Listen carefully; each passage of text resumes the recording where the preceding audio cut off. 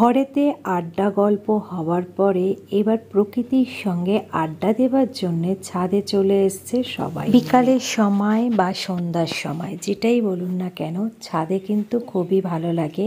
আজকের আবহাওয়াটা কিন্তু খুবই ভালো ছিল। একটু মেঘ ভাব ছিল সামান্য একটু ঠান্ডা ঠান্ডাও ভাব ছিল।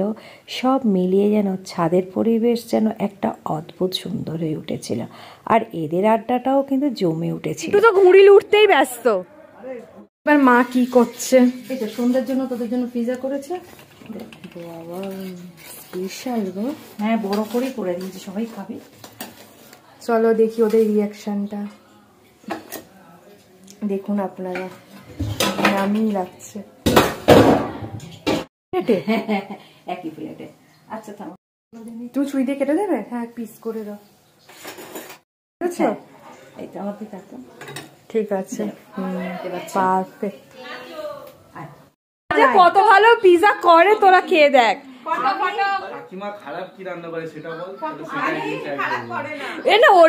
স্পিচলেস গেছে pizza। সত্যি এত খাবার কোথা দিয়ে খাব?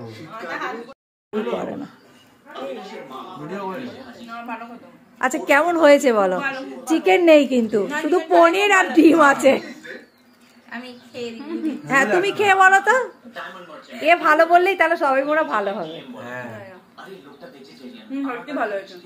হ্যাঁ ভালো আছে বাবু? আমি যখন বানাই একসঙ্গে তিনটে করে বানাই জানো? এরা তো সব শুধু ওই খায়। খেতে হবে পরে খাব না। একটা তুলে নাও প্লেট আছে ওখানে আছে রাখো। প্লেট নিয়ে চলে এসো। বলবি তো? রিভিউটা হ্যাঁ অনেকক্ষণ পরে বলল না। নিয়েছি না। ও। কি করছিস তোর এখানে দুজনে? পিজা এখানে লুকিয়ে লুকিয়ে খাচ্ছিস? কেমন হয়েছে পিজাটা? আজকে কিন্তু চি আজকে কিন্তু পিজার মধ্যে চিকেন নেই পনির আছে। বাবু কেমন হয়েছে পিজাটা? সবসময় তো চিকেন হ্যাঁ। কিন্তু আজকে কিন্তু সামিয়া পনির দিয়ে খাচ্ছে। হ্যাঁ। তা তোর বন্ধুকে এক কাজ করলে ওরা যখন চিকেন খায় না পনিরের করে দিলে হয় তো? হ্যাঁ। তুই কি বলিস সামিয়া? পনিরের করে দিলে সবচেয়ে ভালো? আর তুই কি বলিস? হ্যাঁ। হ্যাঁ ওর মাও খেতে পারবে এটা। তাই না? তাহলে ভালো লেগেছে তাই তো? মেয়নিজটা কিন্তু খুব ভালো হয়েছে। আর একটা দিন কীভাবে কেটে গেল বুঝতেই পারছিলাম না গাইস এরা চলে যাবার সময় বুঝতে পারলাম।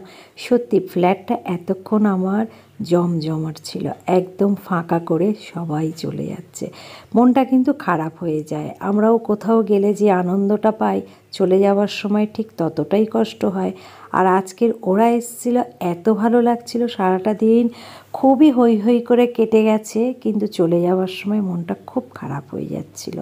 একদমই ভালো লাগছিল না। কেন যে সবাই আসে আর সবাই ঠিক চলে যায়। আজকের ভিডিওটা এখানেই শেষ করছি। মনটাও আমার ভালো নেই। আবার দেখাবে নেক্সট ভিডিও